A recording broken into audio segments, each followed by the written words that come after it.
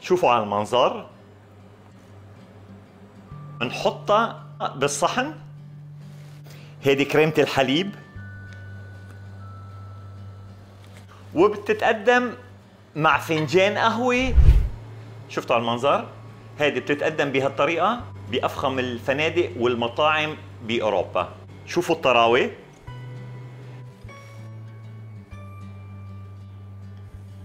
بتدوب بالتم شيء رائع. مثل ما بيقولوا هون بالإيطالي deliziosa يعني أكثر من طيبة. هيدي كيكة buonissima. هيدي كثير كثير buonissima. buongiorno tutti buongiorno يا بلدي buongiorno لكل عربي وين ما كان. مثل ما كنتم شايفين على الطاوله اليوم رح أقدم لكم كيكة بالشوكولا من أهم وأشهر الكيكات المشهورة بالشوكولا بكل أوروبا. اسمها ساكر تورتي هذه الوصفة نمساوية. بالتحديد من العاصمة فيينا. آه اسمها ساكر نسبة للطباخ والحلواني اللي اخترعها بسنة 1832 اسمه فرانس ساكر. طبعا كل محلات الحلويات الأوروبية حتى العالمية بتسويها بس كل واحد له طريقته. أنا اليوم رح أقدم لكم طريقتي بعمل الساكر تورتي تابعوني لأقدم لكم الوصفة.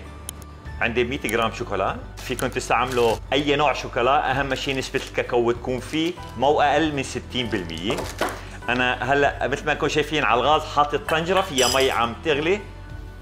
بدي أحطهم بطنجرة صغيرة ونحطهم ندوبهم بقلب المي. اللي عنده آه، مايكروويف بيقدر يدوبهم كمان بالميكروويف. بنبلش بنحركهم شوي بالمعلقة. لسه ما دابت 100% الشوكولا بس هيك بكفي هلا. بس بنحرك بتدوب لحالها أول شيء آه راح أخفق الزبدة مع السكر. كل شايفين راح أستخدم 90 جرام آه زبدة دايبة على درجة حرارة الغرفة. راح أحطهم بقلب وعاء. راح أستخدم 30 جرام سكر بودرة. معلقتين معرمين. أنا راح أستخدم الفانيليا الطبيعية فيكم تستخدموا ربع معلقه صغيره فانيليا بودرة أو نص معلقه صغيره أسانس الفانيليا. هلأ بنبلش بنخفق فيهم.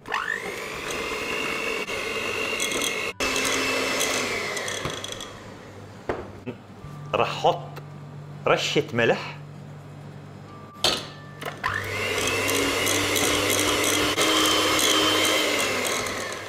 مثل ما شفتوا صارت معنا تقريبا كريمة. هلأ أنا في عندي أربع صفارات بيض. راح أخفقهم هيك بس خفقة صغيرة وراح أحطهم على ثلاث دفعات. راح أحط أول دفعة.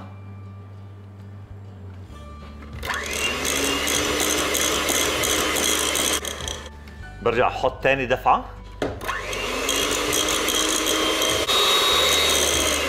برجع أحط آخر دفعة.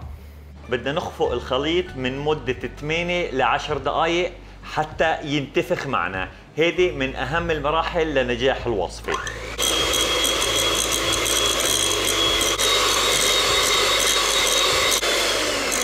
بتجيبوا سباتولا بتحركوا الخليط حتى تتأكدوا إنه عم ينخلط كلياته بشكل متجانس مثل ما نكون شايفين ومنكفي خفق هيك أنا خفقتهم لمدة تقريبا 8 دقائق مثل ما انكم شايفين. هذه النتيجة اللي لازم تحصلوا عليها. أنا عندي الشوكولاتة اللي دوبنيها على بانيو ماريا بالمي. لازم تكون فاتره ما لازم تكون باردة. أحطها على الخليط.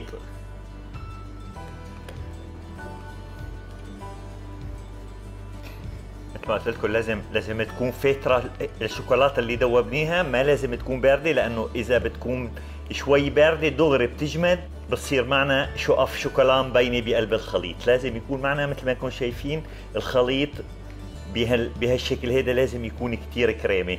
هيدي كمان مرحلة كثير هامه لنجاح هيدي الكيكة.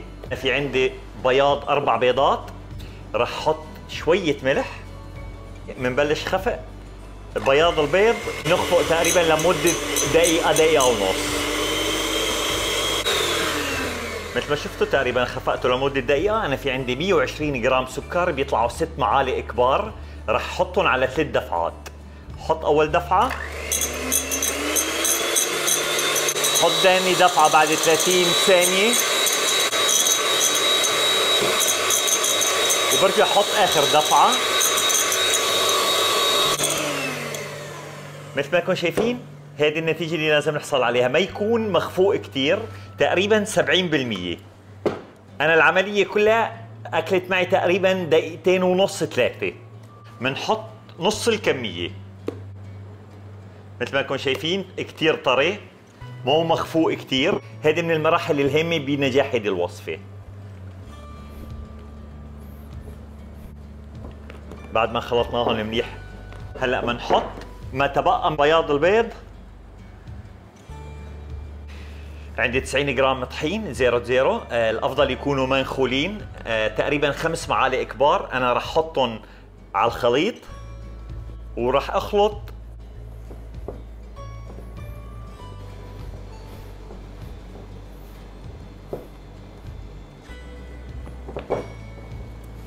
مثل ما انكم شايفين هذا القوام اللي لازم نحصل عليه. راح استعمل صينية قطرة 22 سم ندهنها منيح بالزبدة. بنحط شوية طحين راح نزل الخليط بقلبه.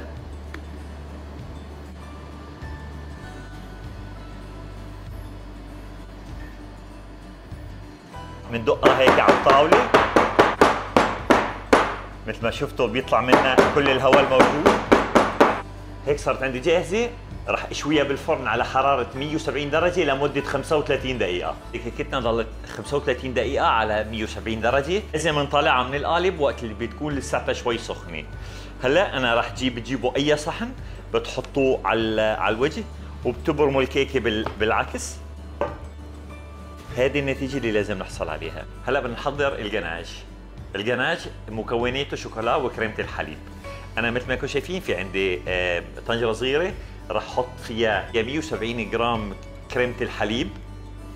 إذا ما في عندكم موجودة كريمة الحليب فيكم تستعملوا 170 جرام حليب وتحطوا 25 جرام زبدة. هيك بنحصل على نسبة الدهون اللي لازم تكون موجودة بقلب الحليب. هلأ رح أحطه على النار نسخنه حتى نغليه عندي 250 جرام شوكولا. رح نستخدمه اللي بتغلي معنا كريمة الحليب. وعندي 250 جرام مربى المشمش أو معقود المشمش. هلا أنا عندي الكيكة صارت باردة. هلا راح أبدأ بطريقة العمل مثل ما انكم شايفين. بدنا نقطعها بالنص. تستعملوا سكينة منشار حاولوا برموا الكيكة بهالطريقة.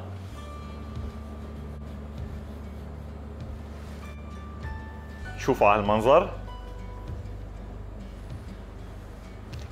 كتير كتير طرية. هلا بنجيب سباتولا. بنحط تقريبا نص الكمية.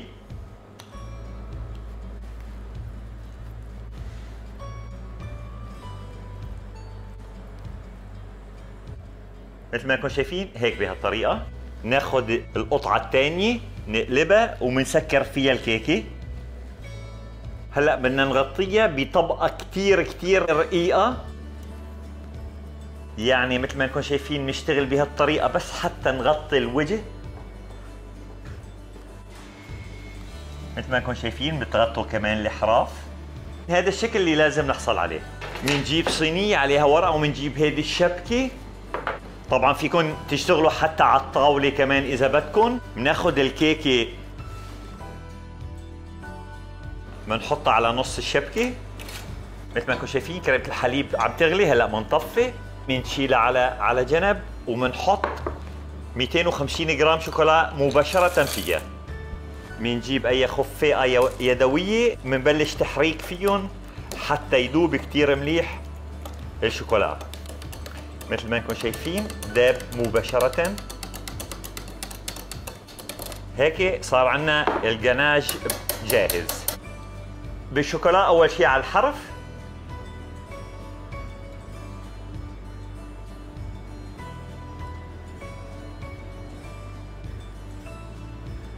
وبعدين بالنص بتجيبوا سباتولا. من مرقة تمريق بدون ما نكبس على وجه الكيكة. بهالطريقة. هلا بس بنحاول نعمل لها هيك ضربتين. بتجيبوا تنتين سباتولا بتمرقوهم تحت الكيكة بنشيلها للكيكه وبنحطها بالنص. مثل ما كنتم شايفين عندنا الكيكة جاهزة. هيدي الكيكة بتتقدم بهالطريقة. الشغلة الوحيدة بتميزها عن غيرها لازم يكون مكتوب اسم الكيكة ساكر على الوجه بالنص. هلا صار وقت الدواء. رح فرجيكم كيف بقدمها لهيدي الكيكة. أول شيء حتى نقطعها بطريقة تكون مزبوطة 100% أنا في عندي بريق في شوية مي سخنة. رح احطه هلا على جنب. الكيكة بعد ما خليناها بالبراد تقريبا شي ساعة زمان الشوكولا بيكون قسي آه، شوي. هلا حتى نقطعه بطريقة مزبوطة السكين بنحطها بقلب المي السخنة لحتى تسخن شوي. بيصير تقطيع الشوكولا أسهل. هلأ بنقطعها بهالشكل بنحطها بقلب المي السخنة.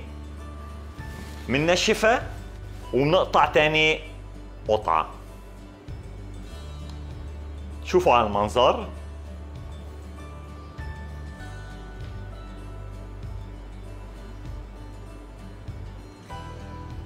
بنحطها بهالطريقة بالصحن؟ بنقدم حد منا الكريم فريش. هيدي كريمة الحليب. وبتتقدم مع فنجان قهوة. وإذا بدكم فيكم تحطوا رشة كاكاو على الكريم فريش. شفتوا المنظر؟ هيدي بتتقدم بهالطريقة بأفخم الفنادق والمطاعم بأوروبا. شوفوا الطراوة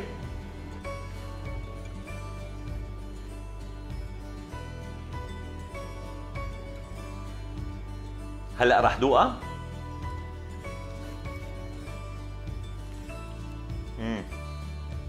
بتدوب بالتم هيدي كيكة كثير كثير طيبة كثير كثير فخمة. هلأ رح دوقها مع مع الكريمة.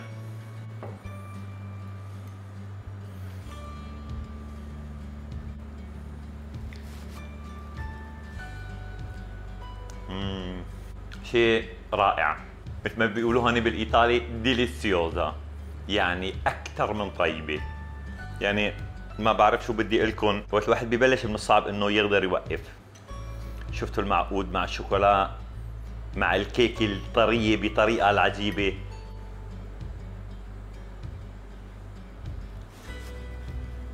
امم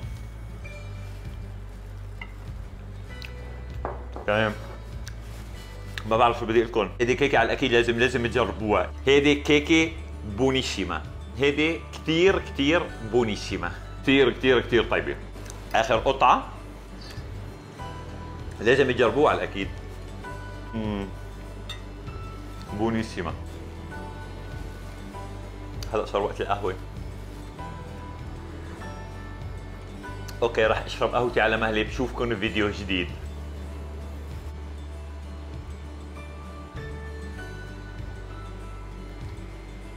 إذا عجبتكم الوصفة اشتركوا بقناتي وتابعوني. حظ كبير للكل